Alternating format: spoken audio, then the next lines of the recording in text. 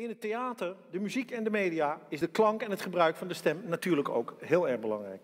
Onze volgende spreker werkt al 30 jaar als stemcoach en logopedist in de wereld van het theater, de kleinkunst en de muziek.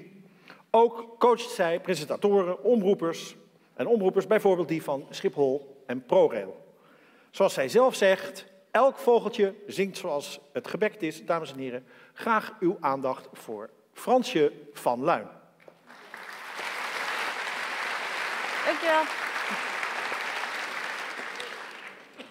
Goedemiddag allemaal.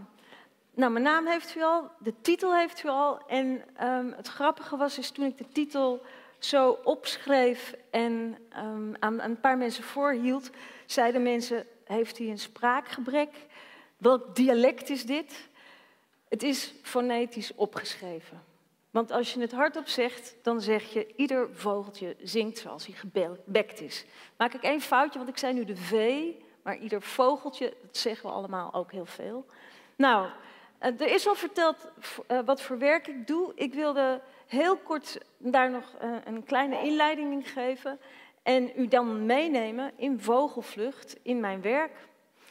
En um, ik kijk ze nu dan op een papier, omdat ik gemerkt heb in de voorbereiding dat als ik gewoon uit mijn hoofd ga praten, ik veel te veel uitweid. Dus dat is de reden dat ik het hier moet zoeken. Ik praat soms ook in de we, in de wij. En dan heb ik het over een mening die ik deel met directe collega's van mij op de lerarenopleidingen van de Hogeschool van Amsterdam en de UvA. En ook andere lerarenopleidingen of collega's die soortgelijk werk doen. En ik heb zitten rekenen, ik denk, ik kom niet uh, op meer dan 30 collega's in Nederland die vergelijkbaar werk doen. Ik neem u graag even mee. Um, um, coach is een vrij beroep. Iedereen mag zich stem, spraak, zangcoach noemen, dialectcoach. Um, die keuze heb ik ook gemaakt. Ik ben daarnaast ook logopedist. En het, het grote voordeel van logopedisten die dit werk doen, is dat wij diagnos kunnen, diagnostisch kunnen werken met mensen.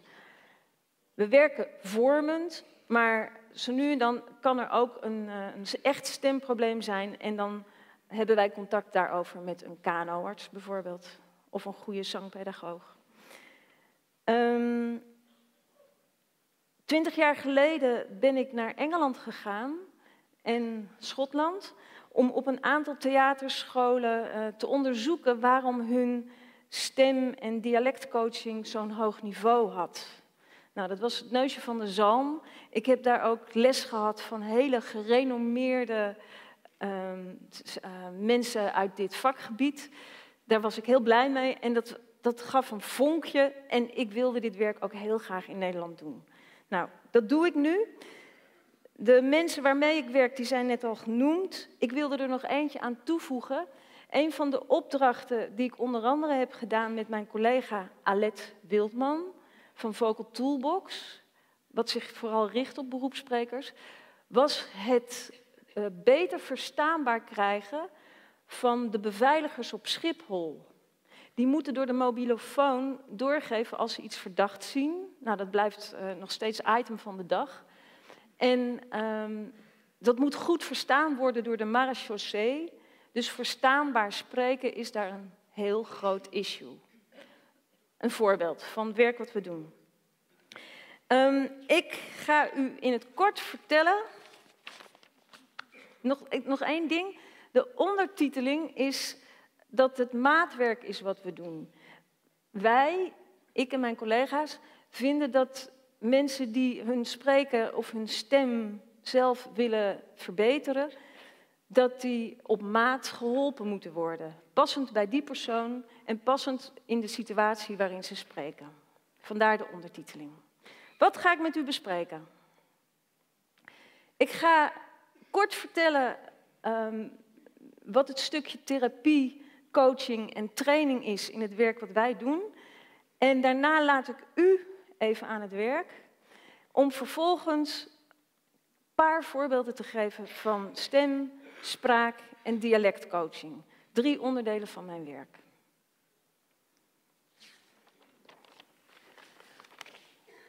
Op de eerste foto ziet u mij, maar ik ben heel moeilijk te zien. Ik ben dat kleine stukje daar. En ehm, als u naar de andere twee personen kijkt, dan zien ze dat ze mij enorm goed nadoen. Ik leer ze een vaardigheid aan. Ik leer ze voelen hoe ze hun adem zo efficiënt mogelijk kunnen gebruiken. Dat noem ik trainen, een vaardigheid trainen. Op de tweede, op de tweede foto ziet u mij meer als coach. Ik ben ook niet in beeld, ik observeer, ik, uh, laat, ik geef ze oefeningen mee en in dit geval is degene met dat uh, blauwe blouseje aan, probeert een, uh, een zelfverzonnen product vol verf uh, aan medestudenten te verkopen. En ik observeer, bied rijk de oefeningen aan en zorg ervoor dat ze zo ver mogelijk groeien in hun manier van presenteren. Dit komt uit een training Spreken met Lef. Therapie komt meer ter sprake als we individueel met uh, studenten, toekomstige docenten werken bijvoorbeeld. Of mensen die bij Vocal Toolbox vragen om een individueel traject. Dan uh, kan het zijn dat mensen werkelijk komen met een stembandknobbel of een spraakprobleem. En dan ga je therapeut, meer therapeutisch te werk.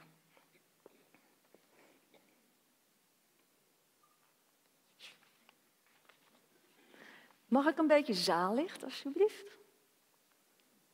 Want ik wil, u heeft een, ja, dat gaat de goede kant op. U heeft uitgebreid kunnen lunchen en lekker kunnen praten. En het praten proeven is een groot deel van ons werk. Naast het, het leren discrimineren van klanken, leren mensen ook voelen wat ze met hun adem doen, wat ze, waar ze hun stem het beste kunnen gebruiken en wat ze doen in hun mond. Nou, en ik heb heel veel gelezen van de artikeltjes over uitspraak hier bij onze taal. En um, er zijn een, paar nuances die ik graag wil leggen. Dus ik wil nu vragen aan u, en ik zit daar voor mijn bril op, dan zie ik u beter. Ja, kijk of u goed meedoet. Um, het, het eerste woord, om ze allebei uit te spreken. Het verschil proeven tussen heel en heel. Wilt u dat eventjes hardop doen? Een heleboel mensen zeggen, of het is meer tegenwoordig zo dat mensen zeggen een heel mooi boek. Dan vergeten, dan, dan is de articulatie waar prinses Laurentien het vanochtend ook over had, um, slordig. Want je gaat niet met je tong omhoog, wat je nodig hebt voor heel, maar je brengt hem al naar de lippen en dan krijg je een heel mooi boek. Een volgende. Herkenbaar? Oké, ik wil ze allebei horen. Eerst nummer 1. Ja, lekker hè? En dan met een hele dikke L. Ja, goed zo. En nou die tweede. Is moeilijker hè? Het is, um, er zijn twee medeklinkers, uh, combinaties waar dat probleem bij speelt. Dat is een L met een um, volgende medeklinker en een R. Dus bijvoorbeeld, ik zeg ook heel vaak werk. Ik ga naar mijn werk. Werk. Of werk. Is nog erger, maar dat zeg ik ook. Um, je maakt namelijk van een één lettergrepig woord een twee lettergrepig woord. En die E, de swa, is de meest makkelijke klank, de meest ontspannen klank, om uh, twee plekken in je mond met elkaar te verbinden. Nou, nu heb ik er eentje. Ik ben, net aan het, ik ben ontzettend aan het verbouwen. en dit woord kreeg ik heel moeilijk mijn strot uit. Um, en het grappige is met dit woord, als je de, klemtoon verandert, gaat, krijg je de, het accent op iets anders. Dus ik wil van u drie variaties. Ik deel de zaal nu even in drieën. Wilt u eerst het um, accent op het eerste woordje leggen? Nee, ja, het gaat om die koeling. Die moet ik hebben. Nee, het gaat om een tegelzaagtafel. Oké, voor u? Precies. Nou, dan, dan geef ik meteen aan, dat is een verzoekje van een collega van mij in de zaal, hoe belangrijk beklemtoning is van bepaalde lettergrepen. En nu heb ik er nog één van u, voor u. Ehm, op de theaterscholen, maar ook ehm, ehm, als ik leer roepen, dan heb ik het over projecteren van je spreken. En dat oefenen we als volgt. En ik wil vragen om toch maar eens kennis te maken met uw buurman of buurvrouw aan uw rechterkant. En op de volgende manier. De eerste keer.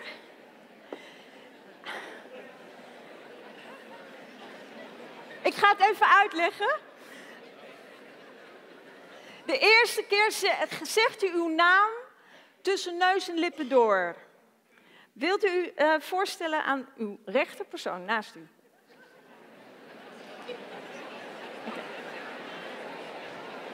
Niet zo'n lange naam. Ik heb niet zoveel tijd. De tweede is als volgt. Met uw duim tussen uw tanden. Niet te hard bijten, dat doet pijn. En zorgen, en de, uh, uh, zorgen dat die persoon naast u u toch nog verstaat. Doet u maar.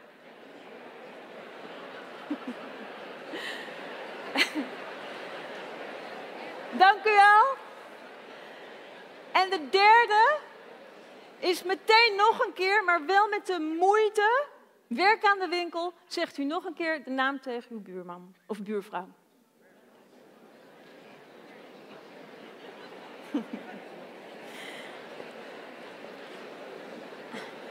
Ik heb, hoor hele lange namen. Ik heb, uh, deze oefening hebben wij nodig om uh, mensen praten te laten proeven en te weten naar welke richting het moet. En de intentie te hebben om het bij die ander duidelijk te krijgen. Goed. Een voorbeeld van werk, um, stemcoaching. Wij proberen stemproblemen te voorkomen. En we willen ook graag dat mensen met een sprekende stem spreken. En um, de afgelopen tien jaar is er veel onderzoek gedaan naar stemklachten bij um, beginnend docenten en die zijn er. En um, ook blijkt uit onderzoek van Meulenbroek en Timmermans onder andere dat training op lerarenopleiding wel degelijk zin heeft. Dat is ook wat wij doen. Wij geven preventieve oefeningen en we geven oefeningen om beter in je lijf te zitten wat betreft het gebruik van je houding, je adem, je manier van spreken, je stemgebruik en uiteindelijk ook de, de, de uitstraling die je hebt naar het publiek toe. En het allerlaatste wat ik daarover wil vertellen is dat we docenten, beginnend docenten ook leren om die lawaaierige klas stil te krijgen. En dat noem ik de roepproef. En mensen leren dan niet zozeer om luider te spreken, maar wel om er doorheen te drinken. Niet dringen, niet drinken. Uh, er niet overheen, maar er dwars doorheen kunnen. En daar heb je je hele lijf voor nodig. Laat het zien. Als ik het nu ga doen met die microfoon, vindt u dat niet prettig?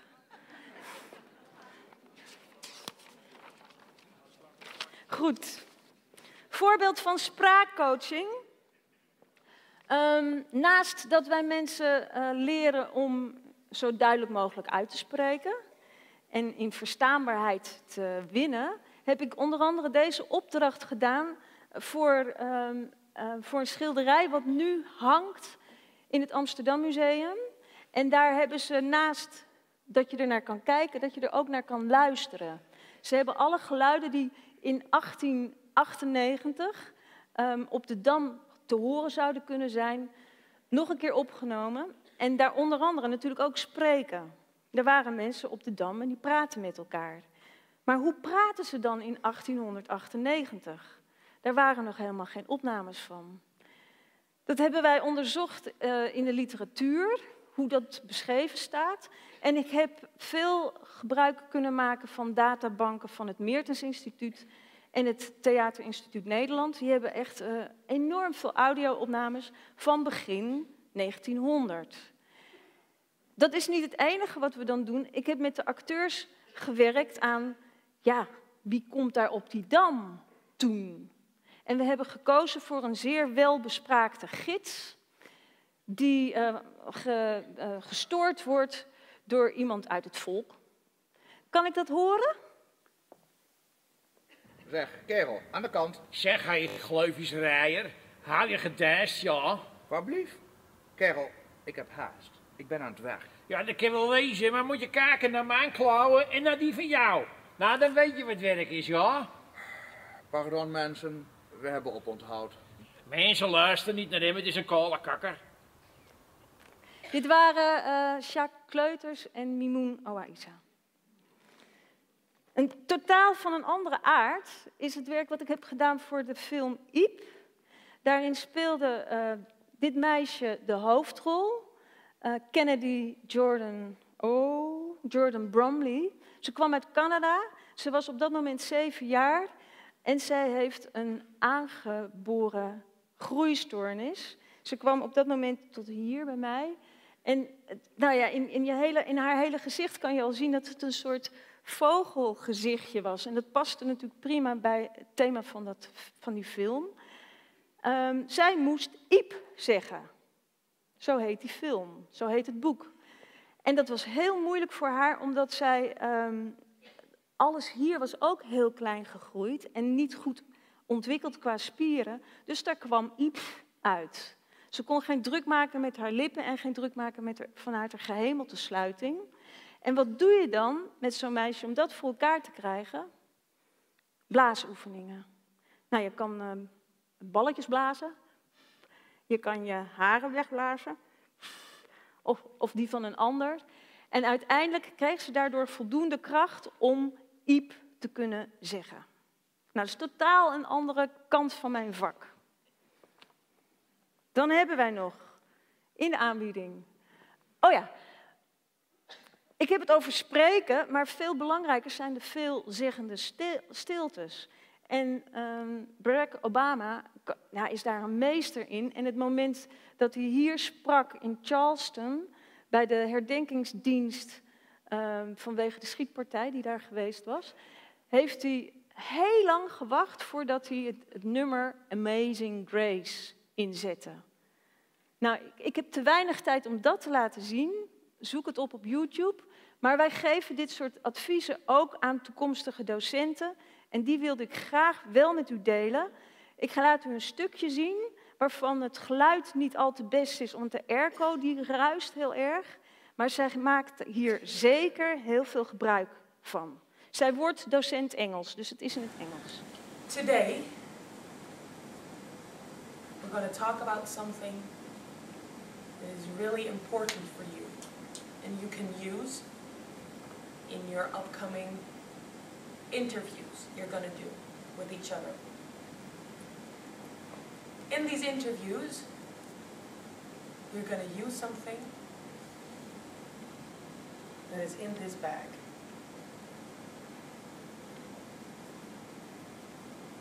Want to know what it is? Mm -hmm. Yeah. Cake.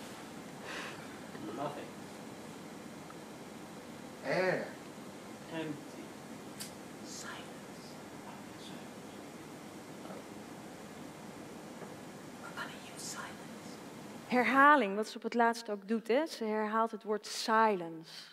Met herhaling kan je benadrukken waar, de, waar, waar je het over wil hebben.